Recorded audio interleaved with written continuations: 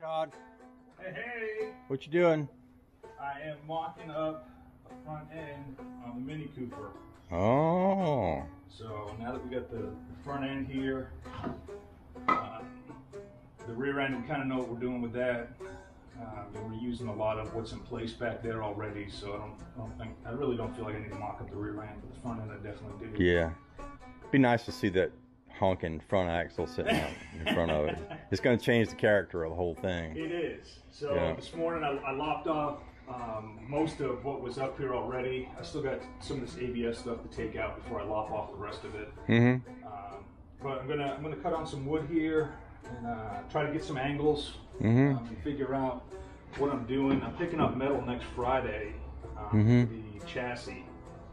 So if I got it all done up, then it's just a matter of bringing the metal back, cutting it, and. I love it. I think that's a beautiful thing. Yeah, just trying to figure out now, you know, where I want to do everything. Mm-hmm. Um, I like it. so yeah, so that's the game plan this morning. Okay. Some power tools. Okay. So We'll see how that goes. yeah, and then we got stuff this afternoon we're doing with the ladies. Yes. Okay. Sounds good to me. So what we're doing here is we're build, building a Mini Cooper mock-up. And obviously we're using nothing but the most realistic of materials.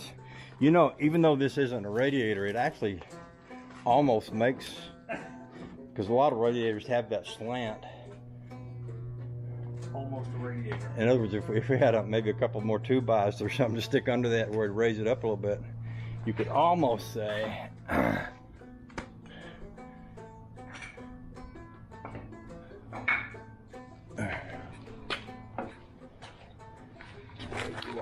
dangerous there, buddy. Oh yeah. Lord have mercy. Next time, throw up a smoke signal before you disrupt the whole caboose there. get the railroad, get the train engineer involved in your madness. Just saying. So, a little bit closer. take this piece. Here, you hold the camera. All right. This piece.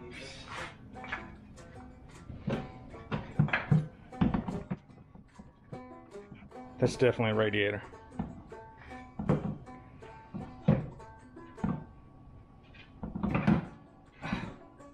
Dang it.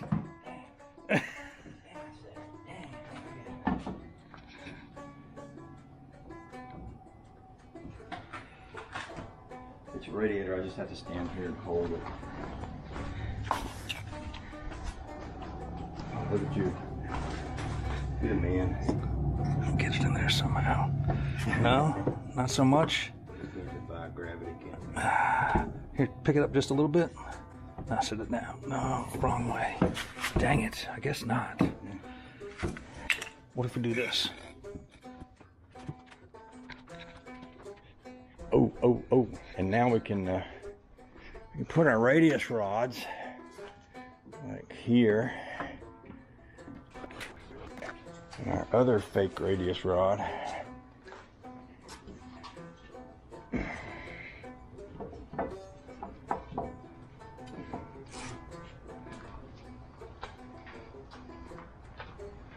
Yeah. Now, if you get down here and you look at it from this angle, Use your imagination. and but also you want to walk back here and imagine it like you're at the back of the car and you see the front wheel sticking out like that. See, this is a look right from here. You got to come over here and see this. See if I can get it from this side. Oh yeah, baby.